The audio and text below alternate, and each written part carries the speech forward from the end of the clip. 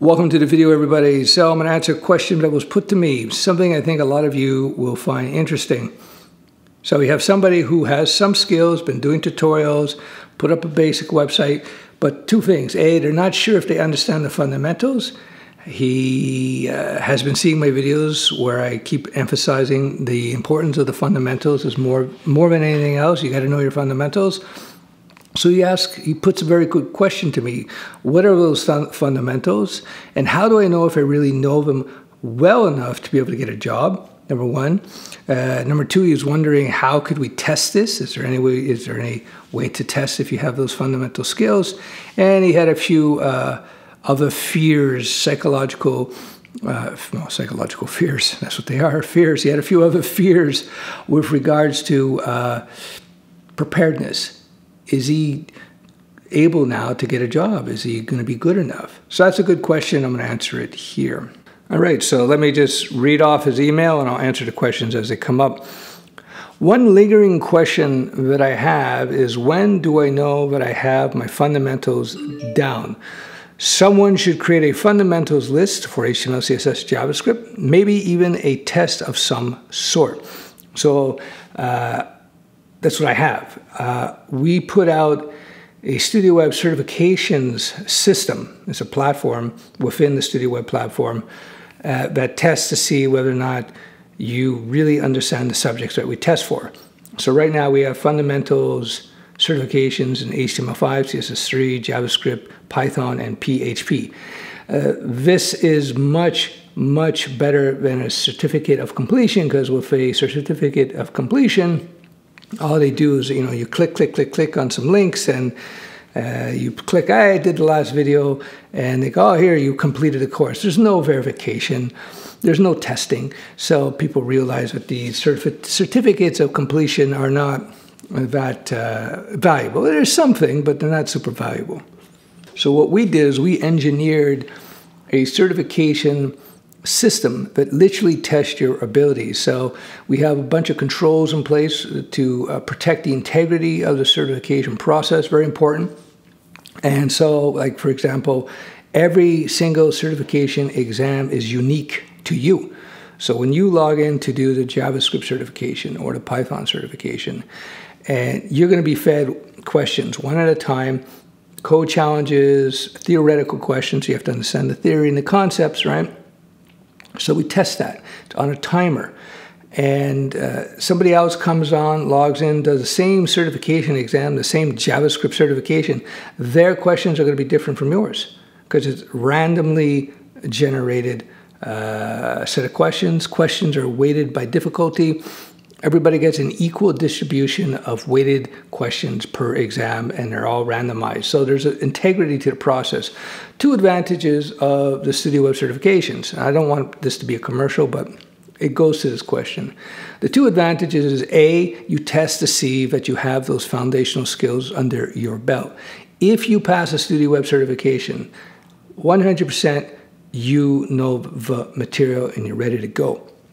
Uh, number two, it's a way to start building your reputation, start building your portfolio. Again, as I've told people many times, real world projects are far more important than any sort of certificates or certifications. In the order of importance, right, it's uh, certificates of completion are way down here, certifications that are tested are way up here, and uh, real world projects that you can show are way higher in terms of importance. So we'll keep that in mind. So um, there you go. So that's the first question. So let me get into the rest of the email. Another thing that stood out to me was my list of skills. A career, a career coach told me to list everything that I had ever used, but I felt like a fraud as you read them out from my site. I have indeed used every one of those technologies, but not nearly enough to consider them as my real skills. Meaning, I cannot just readily use them without documentation, Google or YouTube. This is kind of like an imposter syndrome. And um, it's something a lot of people have to struggle with, especially in the early stages, because there's this conception, there's this idea in your head that you have to know a technology like the back of your hand perfectly to be able to professionally code in it. It's not true. In fact, one of the main jobs, this is the if you're going to take anything from this video, take this. One one of the main jobs, if not the main job of a software developer is being able to learn something new for that job. That's why I say you have to be language and technology neutral or agnostic, perhaps you can say. Uh, why? Because you have to realize that certain coding languages, certain programming languages, certain libraries, certain frameworks are better suited to a particular task, a particular job.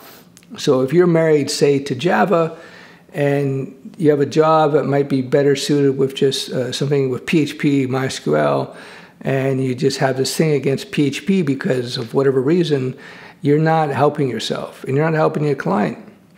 Sometimes you have to move from one tech to the other, well, a lot of times. So again, what you want to take away from this video, if anything, the main job of a professional developer is to be able to learn new technology given the needs of the job. So yes, he has limited experience with a bunch of technologies he's listed. Guess what? That's how most coders work. They'll have a concentration where they're really good at, and then they'll have a bunch of peripheral experience and knowledge in other areas. That's fine. As long as you have solid fundamentals, that's more than adequate. That's exactly what you want. And this will shift over time. So once upon a time, I was really, really good at uh, Java, JSP, servlets. In fact, I had developed my own framework from scratch, a MVC framework. And then fast forward a few years, and that skill set changed to something else. Like today, even though I did years and years of Java programming, my Java skills are very rusty because I haven't written Java in many years now. I jumped into other areas, other languages, other frameworks, other roles. Now, the good thing is because I have that experience as a coder and because I have a really good understanding and grasp of the fundamentals, I can go back and learn Java if I want to get back up to speed with Java again. Within a, a couple days, I'd be up and running again. So yeah, again, you don't have to be a master at every single technology out there. Nobody is. Nobody is. Uh, at best, you know 5% of a particular language and uh, well, that's what you're going to use.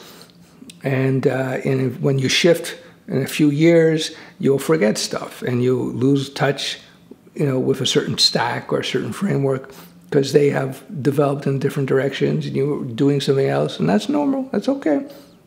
He continues, I really need help with CSS, or actually wrote, I really need CSS help. I struggle with that more than JavaScript. For example, my site took me almost three months to build due to all the stylistic uh, glitches or the styling glitches. I eventually worked it out, but I just have no idea if I am ready. And I started this at the beginning of 2019. All right, Stefan, thanks again. Okay, first of all, CSS, uh, difficulty with CSS and using CSS, especially when it comes to layout, that's very common. CSS was, uh, in my opinion, ill conceived by the nerds who originally put it together because they saw it as a, a styling language for documents, uh, rather because HTML were not looked at, HTML pages were, and websites were not looked at as applications, they were looked at as documents.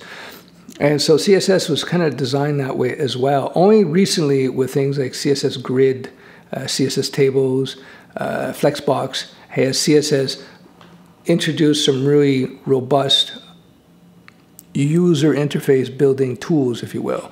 But yeah, don't worry, this is normal. CSS is a real tricky uh, to work with, tricky to understand, like the, the nature of the cascade, for example, which is a key mechanism and a key uh, architectural structure of CSS can be difficult because the cascade, as an example, see, CSS is short for cascading style sheets.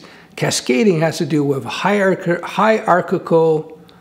uh, predominances within your code. So certain things will have more importance than other things. So you may write some CSS code that changes your fonts to, I don't know, blue, but because you place a font call or declaration to reds higher up the hierarchical chain, uh, your your fonts look red when you're expecting it to be blue, and you're like, what what's going on here?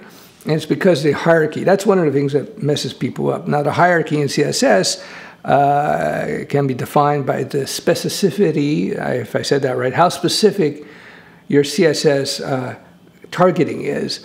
That's one thing. How it appears just in the um, in your CSS styling sheets in your pages also affects hierarchy, and it goes on and on and on and on. I won't get into it here. Do my course, I teach all that. So this is not a that hierarchy and the way it's set up. It allows for tremendous fine-grained control in terms of how you apply your CSS declarations and your rules and how it impacts the sites and the pages and the apps. But the cost is is that it can get pretty messy quick. So one of the key things about writing good, clean CSS code is to really structure uh, your basic your code well and clearly so that you don't mess up things in terms of hierarchy anyway uh, that's about it so very common questions uh, problems with css yes uh, little imposter syndrome yes uh, and uh, do I know enough to be able to get a job? again, these are very common things. I gave them given solution. Do you know enough? Do my fundamentals exams, uh, certifications, you do, I will test that. But more importantly, once you've done, like, let's say, StudioWeb, you understand all those fundamentals, you just got to go out there and do real work, real work. More important than taking any certifications. And again, remember another major point from this video is nobody knows everything. And your job, primarily as a developer, is to learn, to be able to learn new things quickly and to adapt. So that's why I say don't get married to any particular tech. That's why I make fun of Ruby people. I make the Ruby joke is just to make not so much fun of Ruby, it's to make fun of people who hate or love Ruby or hate or love PHP or hate or love C sharp. You know what I mean? It's it's it's it's immature. It's immature. They're, they all have their purposes except for Ruby. And finally, yes, CSS is a bit of a kludge tech, in my opinion. It was not conceived for user interface design, it was, in my opinion, and it's unnecessarily difficult sometimes to work with, especially when it comes to layout. But even beyond that, now that they solve layout pretty much with Grid and Flexbox, which are core to CSS3 now, the hierarchy or the hierarchical system within CSS can make it uh, unnecessarily buggy. So organize your CSS code really well from the inception. All right, I hope that helps, and uh, we'll talk soon.